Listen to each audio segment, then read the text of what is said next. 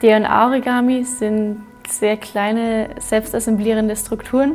Die werden nicht mehr als Erbgut gesehen, so wie wir DNA kennen, sodass man sich jede vorstellbare Struktur am Computer designen kann und dann wirklich aus DNA nachbauen kann. Im Bereich der DNA-Origami wurde jetzt seit vielen Jahren probiert, Kristalle zu züchten und das hat noch nicht so hingehauen. Jedoch wissen wir auf der einen Seite eben, wie das grundsätzlich funktionieren sollte und dass im All unter Mikrogravitation Kristallwachstum besonders stark ist. Also der Origami ermöglicht es, extrem winzige ähm, Objekte, kleine Mechanismen und Werkzeuge zu konstruieren auf ähm, Längen, Skalen von 10 bis 1000 Nanometer. Das Material, mit dem wir arbeiten, DNA-Origami, war noch nie im All. Es hat noch nie die Erde verlassen. Es wäre das erste Mal, dass man die Eigenschaften von einem neuen Material im All testen kann. DNA-Strukturen wie biologisches Material kann man mit den Bäumen vergleichen und unser äh, DNA-Origami ist mit dem Holz.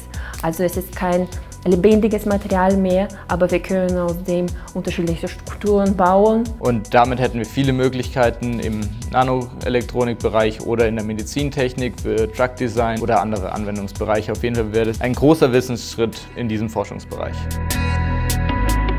Und wir träumen natürlich davon, dass man irgendwie mal sowas wie ähm, virenartige Partikel konstruieren kann, die in der Lage sind, halt krankhafte Zellen oder Bakterien in einem Körper zu erkennen.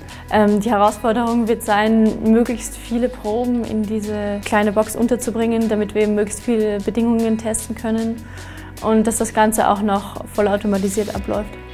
Und als zusätzliches Feature wollen wir von fluoreszierenden Lösungen Fotos machen, damit wir direkt einen Vergleich haben, wie die DNA-Origamis im All wachsen im Vergleich zu den parallel laufenden Experimenten auf der Erde.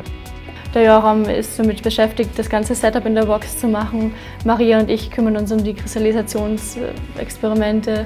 Für unser Projekt, das Ziel ist natürlich, äh, Unterstützung zu bekommen, damit wir unser Projekt verwirklichen können. Wir können uns sehr glücklich schätzen, schon einige große Unterstützer zu haben.